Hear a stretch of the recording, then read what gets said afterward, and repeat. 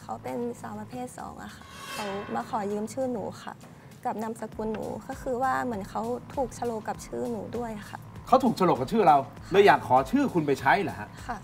อ้าวแล้วคุณก็อนุญาตให้เขาใช้ด้วยป่ะหรือยังไงค่ะครับ คือด้วยความเป็นเด็กอะค่ะ ตอนนั้นก็ยังไม่ได้คิดอะไรอะค่ะอือฮึก็เลยให้เขาใช้ค่ะ เป็นสายมูมาก แล้วบอกว่าถ้ามีผู้หญิงคนหนึ่งที่หน้าตาแบบนี้แบบนี้แบบนี้ แล้วชื่ออันเนี้ยลองเอามาลองใช้สักปีหนึ่งดู แล้วแนนอาจจะแบบ เข้าวงการเป็นพริตตี้หรือว่าหน้าหรืออาจจะมีแบบดวงดีอะไรเงี้ยค่ะหนูก็เลยเอ้ยลองเสร็จปุ๊บคราวนี้พอโอเค ได้เอามาใช้มันก็เริ่มดีดีจริง ๆ อย่างที่คนนี้บอกแนนก็เลยเปลี่ยนชื่อของตัวแนนเองเลยค่ะอือฮึก็คือเปลี่ยนที่เขตเลยนะคะอือฮึก็คือเป็นชื่อนี้แต่นามสกุลต่างกัน เพราะว่าชื่อมันจะซ้อนกันเหมือนกันไม่ได้ แล้วเขาไปใช้ตรงไหนก็ไม่ได้บอกเราค่ะแล้วคุณอมามารู้อีกทีนึงว่ามันสร้างความเดือดร้อนให้คุณตอนไหนยังไงครับ ก็มีจดหมายส่งมาทางบ้านนะคะ จดหมายจากกองปราบปรามค่ะ เขาโฆษณาเกี่ยวกับแอลกอฮอล์เครื่องดื่มอะค่ะ คือผิดกฎหมายอะค่ะ แล้วหนูก็ไม่รู้เรื่องอะค่ะ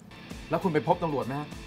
ไปยืนยันตัวตนเขาว่าหนูไม่ใช่พี่คนนี้ค่ะ แล้วก็ยังมีจดหมายส่งมาเรื่อยๆเลยค่ะ ได้ติดต่อเขาบ้างไหมฮะในระหว่างทางที่คุณได้รับจดหมายต่างๆเนี่ยครับก็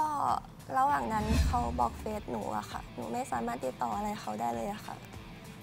บล็อกเฟซเหรอฮะค่ะ คุณมีเบอร์โทรศัพท์กันไหมครับเอ๋อ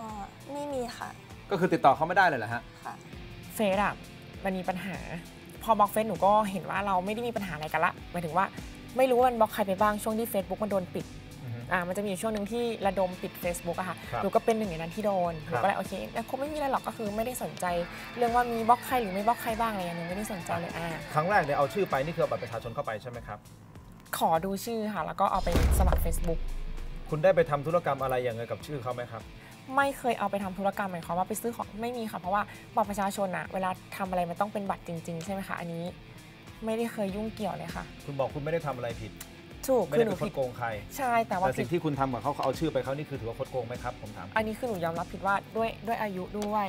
ด้วยหลายๆอย่างที่หนูไม่มีสติค่ะพี่หนูหนูหนูขอโทษ รับผิดชอบในสิ่งที่ตัวเองทำผิด ก็คือสมมติว่าอย่างเรื่องใบภาษีที่ ที่เขาแจ้งไปว่าอ๋อค่าตัวนั้นเท่านี้ครับแล้วหัก3%เอือฮึเท่านี้มอะไรเงี้ยก็เดี๋ยวเอามาให้แนนเดี๋ยวแนนก็เอาไปอืมจัดการให้ แล้วก็ขอโทษอืมถ้ามีเรื่องแบบนี้เกิดขึ้นอีกครั้งหนึ่งอืมก็เป็นไปตามกฎหมายได้เลยค่ะ คือเขาจะโดนอะไรอีกไหมฮะไม่ค่ะเท่าที่คุณเพราะว่าหนูไม่ได้ทำงานอ่าหนูไม่ได้ทำงานผิดกฎหมายอยู่แล้วค่ะ เพราะว่าด้วยความที่พอเราเริ่มมีที่สองบ้านหนูก็มาทำงานเป็นการทำการเซ็กซี่ล้างรถเอ่ยอะไรเอ่ยสไตล์ที่ไม่ได้มีเกี่ยวกับผิดกฎหมายเพราะหนูรู้อยู่แล้วว่า การเป็นบุคคลมีชื่อเสียงถ้าเราจะเดินต่อได้นานๆ เดินต่อให้มันแบบสะอาด เราต้องรับงานที่ไม่มีอย่างขอโทษนะคะอย่างเว็บการพนันอะไรเงี้ยหนูไม่เคยทำเลย ตั้งแต่วันที่เราก้าวมาถึงจุดๆนี้เพราะหนูก็คือปิดปิดรั้วทั้งหมดอยู่แล้วค่ะพี่ แต่ตรงนั้นคือความผิดพลาดที่หนูยอมรับทนายแก้วครับเรื่องของข้อกังวลของเขาตรงนี้นะครับ มันจะเกิดอะไรขึ้นจากโต๊ะนี้ ไปเอาชื่อคนอื่นมาใช้ โดยการนำเข้าข้อมูลอันเป็นเท็จเข้าสู่ระบบ ตรงนี้มีความผิดตามพรบคอม เพราะว่าทำให้บุคคลทั่วๆไปสำคัญผิดว่าเป็นเรา ถึงแม้ว่ายังไม่เกิดความเสียหายหรือจะเกิดความเสียหายครับแล้วก็ตามก็ถือเป็นความผิดครับอืมกรณีนี้คะแนนปฏิเสธความรับผิดไม่ได้ครับ ที่คุณเอาชื่อเขามาใช้เนี่ยคือคุณต้องการที่จะ